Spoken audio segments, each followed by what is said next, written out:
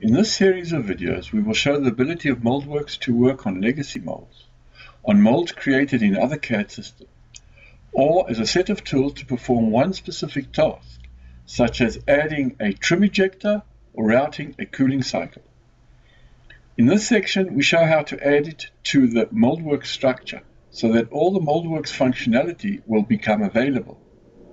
This is also a good way to start using Moldworks immediately without having to learn the complete system. On the screen is a mold from a different CAD system. First, we use the Add User Plate menu from the right-hand mouse button on the plate folder in the Moldworks Feature Manager tree to select the plates which are added to the other folder.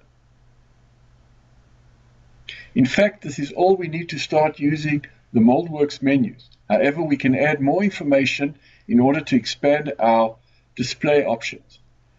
Here, we move the plates from the other folder to the static and mobile sides of the mold according to their positions.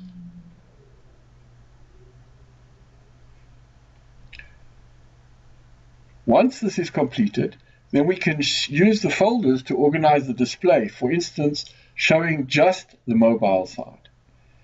Next, we display the legacy core and cavity inserts and add them to the inserts folder while designating them as core and cavity respectively.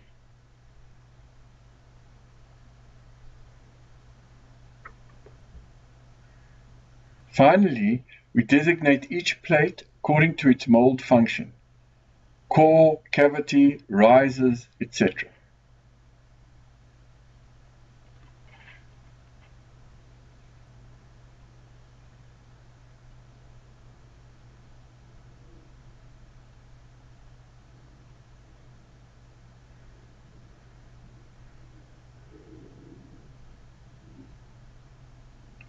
Showing the core plate from the Moldworks feature manager tree will display the core insert as well.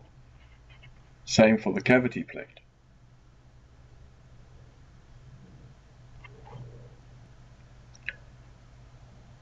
Showing the ejection will show the ejector plate as well.